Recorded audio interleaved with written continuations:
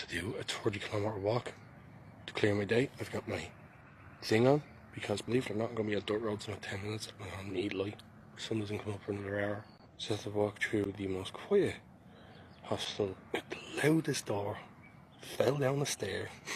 had to get this done before 4 o'clock, so 10 hour walk. I actually got lost once or twice leaving Lorca. It was way too dark and it took me over an hour to get to Villatuerta. Quarter past 7. Sun's coming up.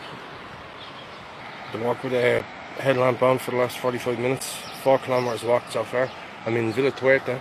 Walking Villatuerta to Estella is about an hour, hour and a half. Uh, it was lovely through these fields, over this cool bridge. I did not stick around the town. I didn't have the time. It seemed lovely, but I did break on the far side of it beside the petrol station. 9.38 kilometres. I'm on the far end of Estella. I'm going to go to the Ignacio Monastery because they have a tap of free wine. It's not even 9 o'clock yet. I'm walking since 20 past 6 and I had to get a new hat. I do kind of look like an idiot in it, but frankly, it's being it look like an idiot I'd be burned. So I left Estella and ended up at Irache. Uh, this metal worker just bought the vineyard's amazing. Here's the vineyard, Bodega Irache. Uh, this is their tap. You can see I pour some wine into a bottle. That's for my partner when I meet her in Burgos. Uh, I got to meet a couple of pilgrims here. It's kind of cool. Um, and of course, you had to walk to the vineyard, like check that out, side of a mountain. You're basically along the side of one mountain, and it's beautiful. It wasn't too hot, and you end up just there. That's Villamayor de Monjardin in front of me, the big peak, and you go through a small town before that, and you go up the side of the hill, like here.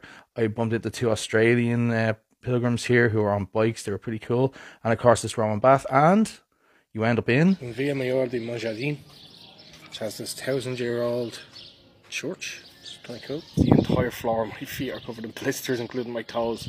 I'm covered in Compeeds, uh, and I'm in quite a lot of pain. The 12 kilometres from Monjardin to Los Arcos were probably the worst, I'd say, in my entire Camino experience. I was in so much pain with my feet. I sat down 3k outside of Los Arcos, and when I got back up, it took me an hour and a half to walk 3 kilometres.